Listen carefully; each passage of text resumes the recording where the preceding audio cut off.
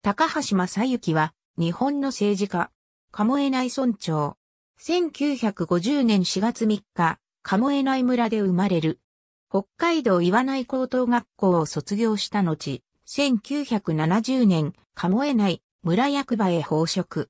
鴨江内村職員として産業課長、住民課長などを歴任する。2001年12月21日、鴨江内村役場に辞表を提出し、鴨江内村長選挙に出馬する意向を示す。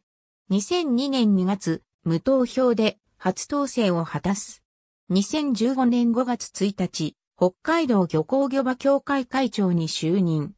その他、全国漁港漁場協会副会長、全国漁港海岸防災協会副会長、全国市町村水産業振興対策協議会、常任理事などを務める。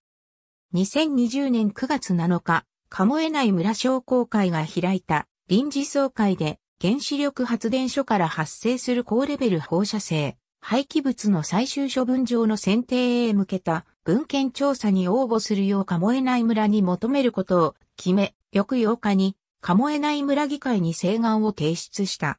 これを受けて鴨江内村議会は9月の定例会で審議することとした。この一件に関するインタビューで、高橋は村議会の審議に影響を及ぼしかねないため発言を控えたい。議会での議論を見守り、結論が出た上で村として判断したいと述べた。